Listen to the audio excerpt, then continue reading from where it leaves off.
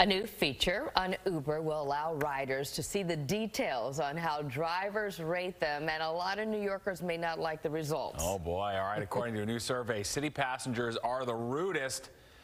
But is it a bad rap? We sent Teresa Priolo to get reaction. Once again, New York City is tops. But this might be one award we'd gladly return. The rudest Uber passengers in the country. I want to see the data. I don't buy it. Well, as it turns out, there is data compiled by Uber. It's part of their new revamped privacy center. Uber told us, quote, we launched the privacy center, which features a ratings breakdown to provide users with more transparency and easier access to their data.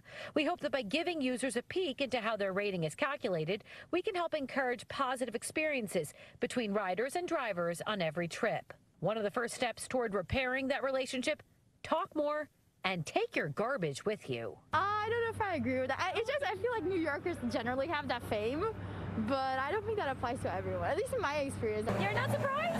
That's what I want to know. I wouldn't like to talk in the Uber. Some Ubers get sad that we don't talk. I had one guy who said that not a single person out of like 20 people he had that day said a word to him. Someone actually told him to stop talking.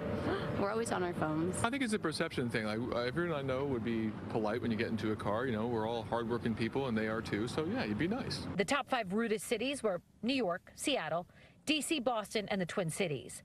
The nicest?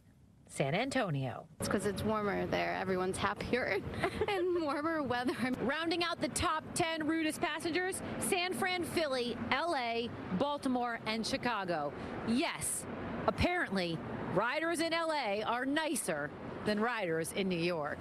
On the Upper East Side, Teresa Priolo, Fox 5 News.